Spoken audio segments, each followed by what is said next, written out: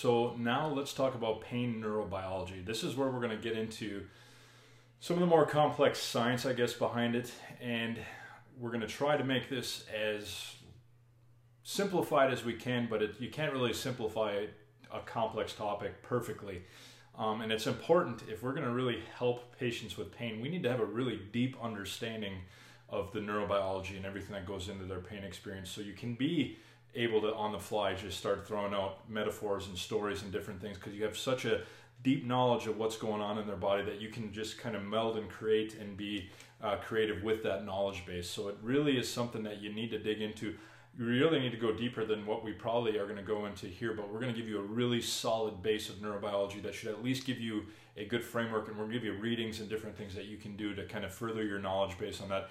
And guess what? Science is moving forward, and we're learning more about pain every day. So we'll probably, as years go on, the reading list is only going to get higher, so we need to be keeping up with it. So Patrick Wall has a very helpful kind of framework to think about tissue injury and I get this from Jason Silvernail. He's the one that first really introduced me to it. But The Science of Suffering, his book on pain, is a wonderful book that I'd highly recommend you read. It's a pretty decent, uh, doesn't take too long to read, and a lot of great pearls and nuggets in that book. But he talks about the three stages of pain of withdrawal from a tissue injury, where you're pulling your hand off the burner or, or, or moving your body out of harm's way. Then there's protection. And I think this is a really important phase of this to think about and protection is so many things homeostatic responses of the immune system changes going into pro inflammatory states, of an endocrine system raising protection in an arousal state, of a neural system sensitizing around that tissue injury, of a motor system developing protective motor patterns and protection of a body part that is helpful in the acute stage oftenly and what we would call adaptive because it's what we need to happen to protect our body from further damage. It's when our body gets stuck in protection that it's where things go awry, where our, our endocrine system isn't meant to be in arousal states chronically. Our nervous system shouldn't be sensitive chronically. Our immune system shouldn't be driven up to pro-inflammatory states chronically. Um, that's maybe a little reductionist views of things, but it, that's what happens to people. And when these systems stay in protect mode chronically, chronically, chronically, watch some of the videos of Peter O'Sullivan with some of the people he sees on YouTube with persistent back pain and all the protection they have going on of how they move differently, how they can't stop tensing their bodies because they've got information on board and behaviors on board taught to them often by PTs, unfortunately, of how they need to protect and fear their back versus becoming confident and relaxed with the back. Um, I'd argue that this is where the vast majority of our patients are stuck protecting their body part. And sometimes this protection may be validated. I mean, an extremely degenerative uh, nasty arthritic knee, there might be need to be protective behaviors, and maybe we can change it and help it improve. But um, then sometimes you know it's okay to get a knee replacement. I think too often we take the the extreme approach of nobody should get surgery. Well, I'd say there's probably times where surgery is indicated. Now, does it get overutilized, especially here in the United States?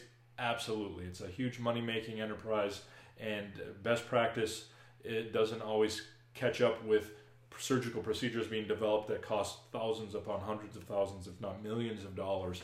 Um, so we have to recognize that there's some limitations. But regardless, this is a helpful framework to think about it. We're really trying to move patients to resolution. We're trying to move them to where their homeostatic systems start, de, you know, calming back down, desensitizing, getting back in a more regulated state.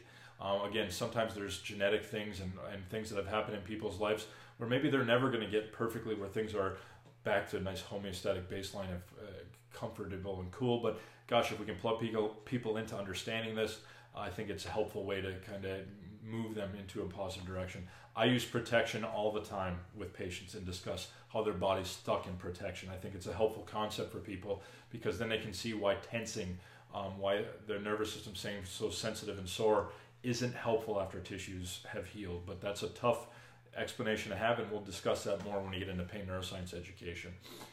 But really, these homeostatic systems have really a baseline level of functions that they need to accomplish. They need a sampling or monitoring system, which is all these nociceptive and interoceptive, exteroceptive apparatuses that are bringing in exteroceptive and interoceptive information from our body and environment to, to give us the information to make some judgments on the control center needs to be there to gather that information and pull it all up into a control center, that being your brain.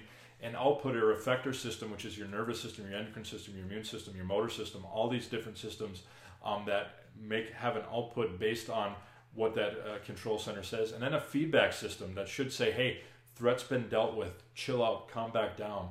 Um, that's where sometimes that we'll talk about when these systems get dysregulated, where that feedback system is never getting the all clear. It's never seeing that the stressors aren't present, or people live lives where they're never out of stress, they're never out of danger because they either have psychological issues, psychosocial issues, other issues that might be driving their system up into a hyperprotective state and not allowing it to come back down.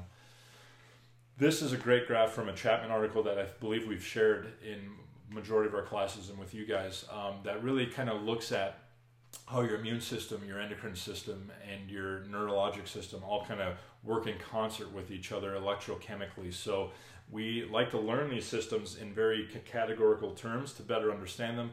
But you know what? They don't work that way. They work very correlated and they depend on each other to modulate each other's function. Um, so we need to learn how do they correlate. So becoming a neuroimmunoendocrinologist or understanding it from that perspective can be really helpful especially when we see some of these persistent pain states, uh, your chronic fatigue syndromes where there's endocrine system dysfunction, along with fibro patients who have that endocrine dysfunction, but also the fibro patients who have this pro-inflammatory state that's present in their body, or these folks who have allodynia and hyperalgesia um, with sensitized nervous systems. Can we kind of make sense of how all these body systems may likely work together to produce these phenomenon um, that kind of can maybe be more diagnosed or labeled by an endocrinologist, an immunologist, or a neurologist, but maybe we shouldn't be cordoning them off the way that we do. The other thing to recognize is that when two nerves talk to each other, there's a lot of immune system. There's glial cells, oligodendrocytes, and other things that really are in there discussing microglia is another one that are kind of modulating the connectivity of two nerves. So they decide how well these nerves talk to each other or how nerves how well these nerves stay apart. Um, and we've really disregarded those. We used to think that these glial cells, which are 80 or so percentage of the nerves in our, our nervous system, um, were just glue, that they were just useless cells, but they have a very important function of modulating sensitivity and connectivity of our nervous system. They're almost like the pruners of the tree that allow certain branches to grow and connect while they prune others away. Um, but it's a very important thing to know because that's how our immune system kind of can influence sensitivity of our nervous system. Maybe that's why when our immune system's going crazy with the flu virus in our body, that gosh, all everything's becoming sensitive. Your hair hurts to touch because you your body's in such a pro-inflammatory, pro-immune state that it's raising your sensitivity up.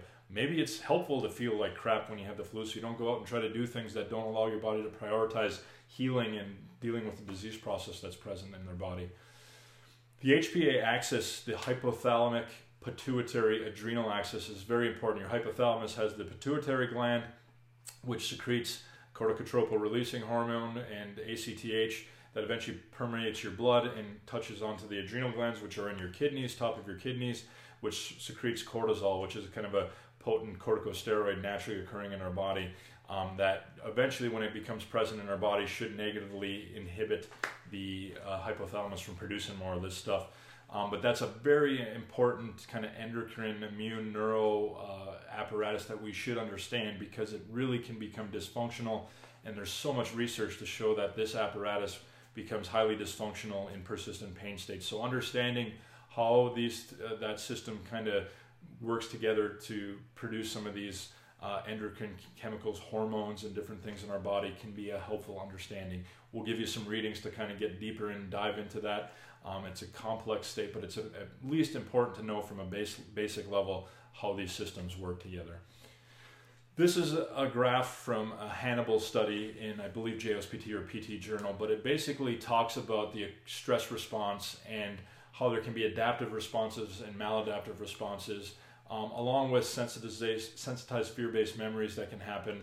You know, your body in the presence of stress can really imprint memories. You know, it's why I can ask you what you had for breakfast four days ago and you scratch your head. Yet I ask you, and maybe more people in the United States, where were you on September 11th of 2001? And that memory and context is seared into your memory banks because in presence of high emotion and high stress, those cortisol chemicals and different things really help your amygdala and your hippocampus wire in those memories into your hippocampus so they're easily recalled because it's probably helpful in life to have good memories of when we're under high amounts of distress from sheer survival instincts, um, to really under to know those contexts by heart, to know when we encounter them again that it's you know obviously hopefully we never encounter another 9/11 again, but maybe a car accident or something when we're in context that maybe in the future we could prevent by taking different evasive maneuvers that maybe that helps us survive a similar uh, accident going forward. Um, so again, some of this stuff's very helpful, but when we get this prolonged and excessive HPA axis activation, this cortisol dysfunction happens. Where we get this immune system issues, but uh, unfortunately, when cortisol gets really highly prevalent and dysfunctional uh, modulation in the body, it can really lead to cognitive and emotional limbic system dysfunction, where you get depression, uh, hypersensitivity of pain, and it can really um, again, that stressor doesn't necessarily only need to be physical. It could be psychological, psychosocial, social stressors that really drive these things. A breakup with a loved one, a death of a loved one. How many of us have had patients that have had pain states that really got magnified or even maybe emerged after the death of a loved one or those huge emotional traumas that we unfortunately hear stories of in our clinic. Hopefully, we're at least listening to these people to understand that that's the background story that brings them into us so we might think maybe I don't need to be poking around in tissues as much. Maybe I need to just help them seek grief counseling or different things, and along with maybe getting active and reassuring them that they're okay and that they can move and that their body's robust and that we don't need to freak them out by now. Let's not only are they falling apart emotionally and psychologically, but let's let's image them and tell them that they're falling apart uh, physically as well, or tell them all these movement faults or terrible things that are going on with them from a physical therapy perspective. That just grinds my gears, unfortunately. Now, the immune system, there's a constant balancing act that's going on in our body of how active or inactive our immune system needs to be. And it's, you know, what will happen oftentimes is in the presence of threat or needs for elevation of this pro inflammatory response, you get, you'll see studies like in fibromyalgia patients where this, this uh, immune system staying in a hyper active state, I guess, where there's this pro inflammatory state where they're shown high cytokine levels in blood uh, measures and different things. But you'll also see these patients who are chronically feeling like they have the flu. Again, when we have an immune system that's active and we get this sickness response, really the sickness response of feeling like crap and not wanting to get out of bed and not moving and doing stuff is a pretty helpful response in the acute stages of it. It's pretty helpful because it helps us not go out and do anything. It lets our body rest and really prioritize fighting the bacteria or virus or tissue injury or whatever it may be that um, is going on in our body that, that that sickness response is helping us prioritize. Um, so again, that sickness response is helpful, but it, again, just like a lot of the responses we see in these homeostatic systems, when it happens chronically and for prolonged time periods, and sometimes driven by stressors that are more than just biologic, um, that this becomes unhelpful. That these people oftentimes feel wiped out. They can't sleep well. They can't uh, wake refreshed. They have all these other issues that don't make sense from a biologic tissue-based standpoint.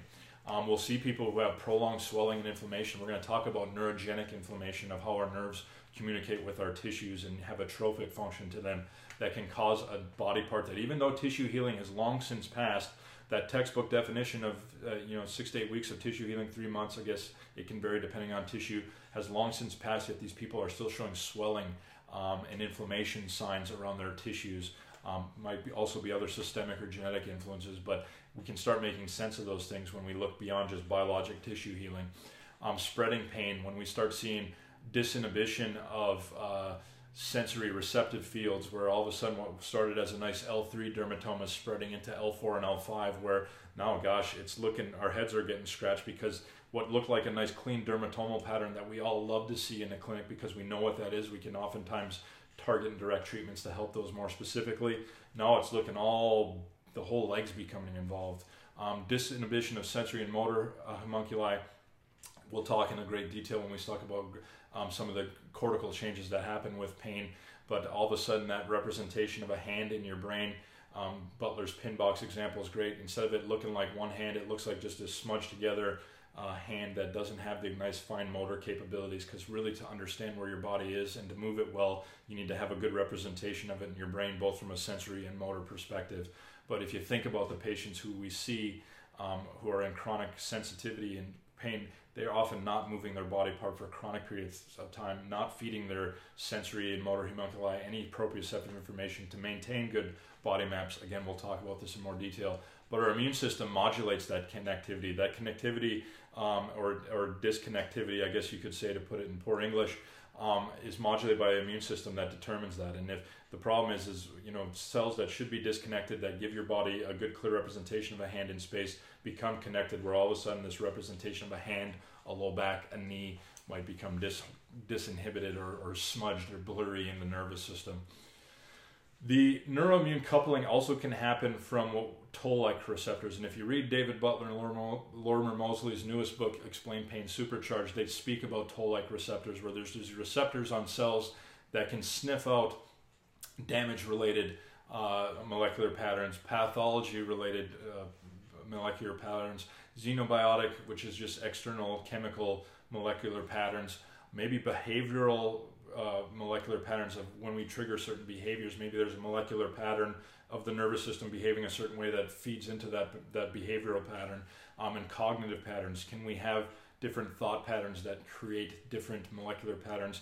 There, all these neuroimmune endocrine thoughts are nervous system uh, signals in our brain that are likely going to influence immune endocrine system shifts that maybe our nervous system can recognize and represent that maybe again where you can just think about certain things and trigger immune system or autonomic responses where you can put somebody who's had a very traumatic situation back into it. Not that we should ever do that as in physical therapy um, where they can start triggering some of the anxiety and physiological responses just through thoughts. But let's look at it um, in a study here in a second that talks about how our thoughts oops i went in the wrong direction here but um, that looks at these studies where can we modulate immune system activity and inflammatory responses based on just thoughts? So these folks were given imagery tasks. These are folks, I believe, who had complex regional pain syndrome, and these both studies were by uh, Moseley, where they they looked at giving these folks a visualization uh, motor imagery task.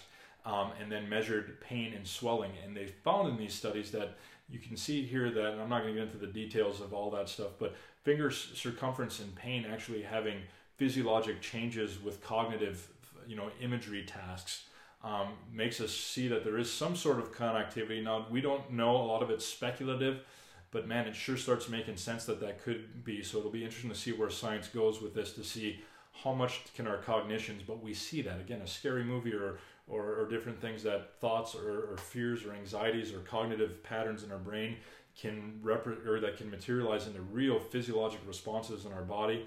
Uh, I just think science has to kind of hash through and figure that how that all correlates. Um, but then again, how do these cognitive patterns around what we conceive to be going on in our back, the jelly donut story of jelly oozing out of a disc that's that's causing your disc to herniate every time you bend over. Some of these negative, maladaptive, fear-generating uh, conceptions that we give patients around their pain could that influence pain states and immune system reactivity and endocrine system reactivity? I would think so that the science that I've read thus far makes sure makes a lot of sense. I'm open to being wrong with that if science proves us otherwise. Um, but man, it sure does make sense when it, when we look at some of the responses in, in immune system dysfunction, endocrine system dysfunction, sleep dysfunction, all these other things that go on with patients that don't make sense if we just look at it from a tissue based perspective. But human beings are unique. And Robert Sapolsky talks about human beings in his book, uh, Why Zebras Don't Get Ulcers. And the basic premise of this book is zebras don't get ulcers or these stress related issues in our tummy um, often because they don't carry stress chronically like humans do. They can get nearly gobbled up at the watering hole from a crocodile and then 10 minutes later it's like nothing happened life is hunky-dory their systems are back calmed down and they're having the time of their lives where humans are the unique uh, species where we create and carry chronic stressors over and over again. We have mortgage payments, uh, identities being threatened by loss of ability to function as a husband, as a wife, as a worker, as a colleague. Um, these thoughts of people telling you it's all in your head, these conceptions of degenerative disc disease or crumbling discs, or all these horrible thoughts around their pain or the, the job that they hate is going on. But all these stressors and all these humans that we see have unique stressors that we need to understand what's going on in their life and maybe put these dots together if they're showing these signs of much more than just nociceptive dominant pain patterns that we should start plugging these things into people. But these stressors can they generate a lot of the same endocrine, neuro, and immune system sensitivity responses? Maybe not to the degree of an acute tissue injury, but we're starting to see research that shows a lot of these psychosocial factors are quite predictive of pain states and that we should be definitely keeping these in mind when we think about people. one way that I like to, to look at patients is instead of just looking at them through their biologic loads, that maybe we think about them through their biopsychosocial loads. But what are their psychological loads and social loads that are going on in, within their life? Um, and understanding that allostasis is to respond to these loads, whether it is biologic, psychologic, social, or anything in between, where we, it's going to s- seek to raise sensitivity to that stressor and then seek allostatic processes as far as p- processes within these homeostatic systems to bring them, ourselves back down to baseline. Um, and that's going on constantly with things. And ideally, these stressors don't hang around long term. You know, and, and, can somebody have a biologic stressor that's chronic and repetitive? And we see this maybe in workplaces with repetitive stress and injuries and different things, where maybe there is a influence of repetitive biologic load. But man, we've done a pretty good job, I think, of conceptualizing biologic loads. We suck quite frankly, of understanding psychosocial loads that are on our patients. We do some things, but I think we can do much better, and that's what we're going to help you guys do. Um, to, to really look at allostasis, there's there's um, this fast response and slow response of this fast response of mobilizing all this activity to, to deal with these threats. And then once these feedback systems recognize threats been managed, this nice allostatic uh, uh, process with these feedback mechanisms and its HPA axes and sympathetic adrenomedullary uh, cap, uh, processes activating to down modulate some of their activity to bring things back down to a smooth homeostatic state. That's what should happen when stressors hit us. We should things should fast response and then recover back down to baseline. How many patients do we see that don't have that recovery to baseline?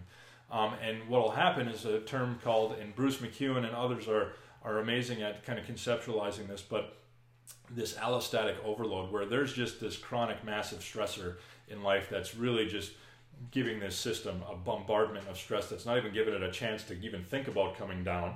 Um, but there's also this inability of the system to respond to modest stress, or maybe there's genetic influences, or there's other things surrounding this person's life um, that can really lower their coping abilities. Maybe it's comorbid health, genetics, other things that are going on, other loads in their life that just don't allow this current load that they're undergoing them to adapt to it and it raises their sensitivity state. Or maybe the system's just not hearing the all clear. There's just no reason your body's not getting any messages that that stressor's leaving. Maybe um, you know there's just it's either staying chronically long term where your body's you know chronically living in the haunted house, which we'll talk about with patients, um, where it's just always in chronic arousal stress mode, where it's and your body's constantly perceiving these stressors that are existing in your life that there's no reason for it to hear all clear because you're always chronically in these relationship stresses, physical stresses, psychosocial stresses that might drive the system to remain sensitive. So hopefully we can help connect the dots for our patients on that. Now, this is a graph that I take from the Aches and Pains book from Lewis Gifford, a great three book series that I highly recommend you guys get your hands on. It is probably the, one of the most influential books that I've read to better encapsulate this stuff into my practice. Um, and it's always good to get this stuff from multiple pers- perspectives, not just modern pain cares or Jarod Hall's or Greg Lehman's, but I'll just get as many of these perspectives as possible to best learn this stuff. But it just goes into how this chronic pain and stress can kind of correlate with each other, where this ongoing pain, uncertainty, unpredictability, this negative emotions and anger that often accompanies this, which causes unresolved mental stress, this dysregulation of the stress response, that kind of homeostatic mechanism that we talked about, um, we also have this environmental or genetic influences on the stress system, but we also have past traumas that can influence this as well. Um, how many patients can we see often that have history of physical abuse, verbal abuse, sexual abuse, unfortunately, that we see often can influence their pain state. Um, I had a patient recently who uh, came to see me with CRPS and just a, a pretty nasty pain state who, after we talked about past experiences and different things influencing how sensitive our nervous system can become over time, um, you know, relayed to me that her stepfather attempted to drown her twice in a bathtub um, as she's grown up as a kiddo. So imagine your life when you're when you're supposed to be in the most safe place on earth with mom and dad is a life-threatening place for you. How do you navigate the world when when you're supposed to be the safest? You're a life-threatening danger.